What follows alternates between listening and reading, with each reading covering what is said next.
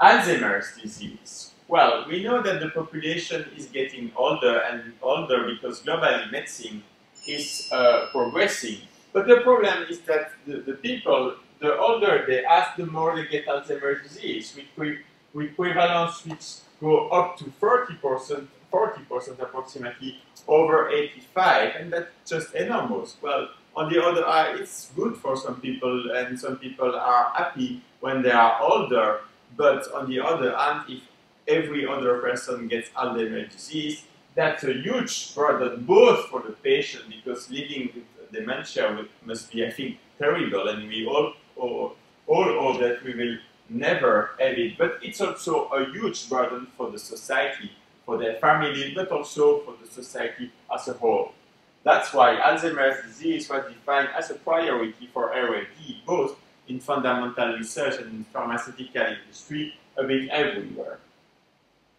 The progression, well, when the general public think about Alzheimer's disease, they think about this one. They think about the clinical dementia, but actually the onset of the symptoms is much before. And clinically, you have two phases. One where you already have symptoms and the family is noticing that uh, uh, a wife or uh, husband is losing the key or, or doesn't know where he parked the car and that's called the prodromal phase, and the patient experiences mild cognitive impairments, an impaired memory, especially the short-term memory.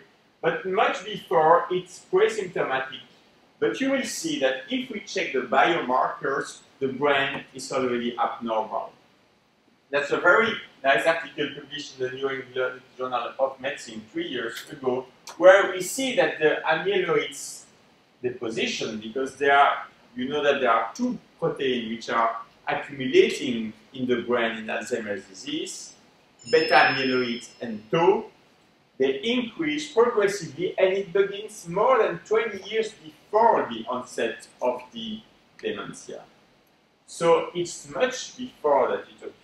And even the brain atrophy, the hippocampal volume, it's already very atrophied when you have the onset of the symptoms. And this one, it's a clinical score, a behavioral score. You see that it works progressively. So what's the target of the pharmaceutical industry? No, there have been a lot of trials uh, against amyloid, and most of them have failed. And because probably if it's too late, the, the, the brain is already too damaged. The idea is to treat the patient almost here, no?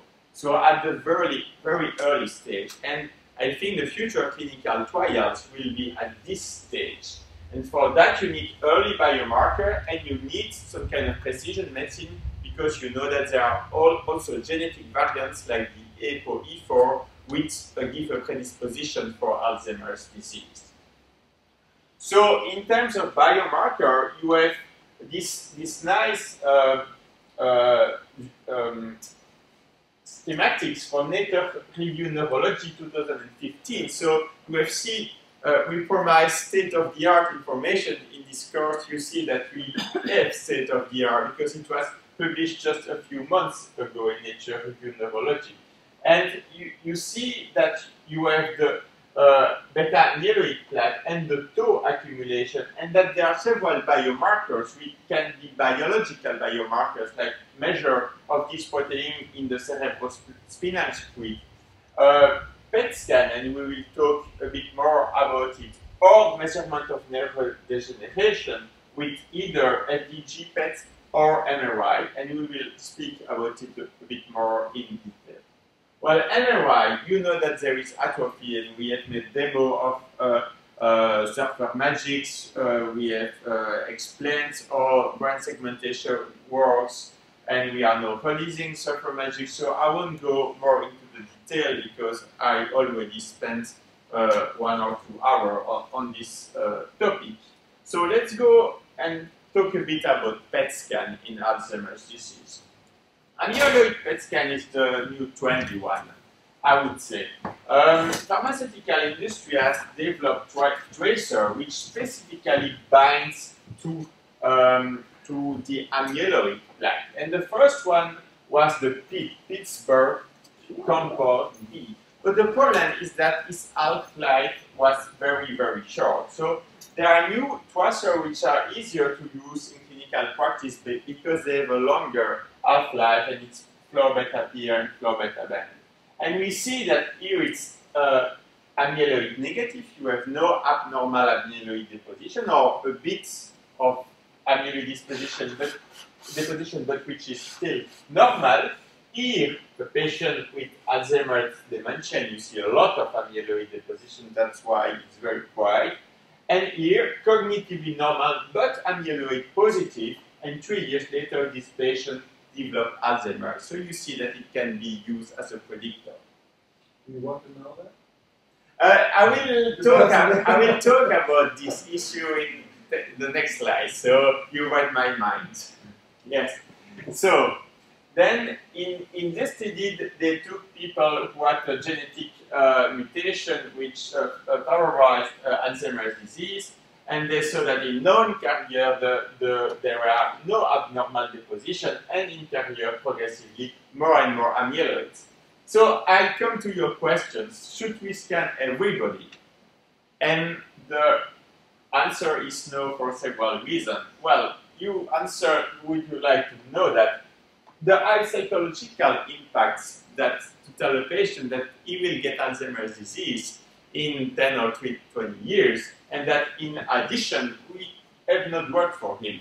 So what's the clinical interest?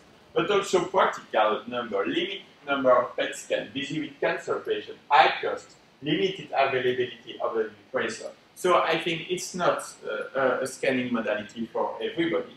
But yes, in, in a specific uh, clinical case, and there were, was a, public, a paper published in Alzheimer's Dementia two years ago by a, a consensus group where they, they appropriate use case. In some patients, it can be useful. And I think also in the framework of clinical trial, there the question is different and it might be useful. But not only amyloid imaging, because glucose metabolism, so the simple FDG PET scan is also very useful and one of the main markers of the evolution of Alzheimer's disease.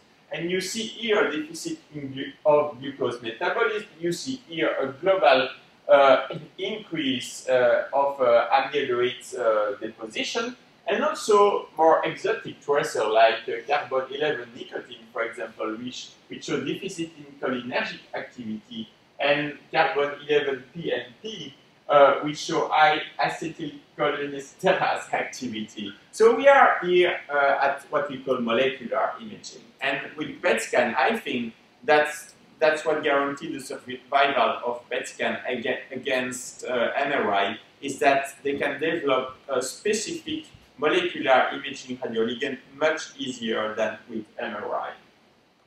There were new uh, international working group criteria, revised version which were published in Lancet Neurology uh, last year, which defined that the marker of diagnosis for Alzheimer's disease were amyloid PET, so the plaque that you detect with PET scan, and measurement of amyloid and tau in the CSF, which is a biological measurement uh, which require a lumbar uh, puncture, a CSF uh, sampling. But for example, we were discussing with uh, Dr. Nordberg, who wrote the article in Nature, and she, she, told us that at Karolinska in Sweden, they are doing it to all suspected Alzheimer's patients.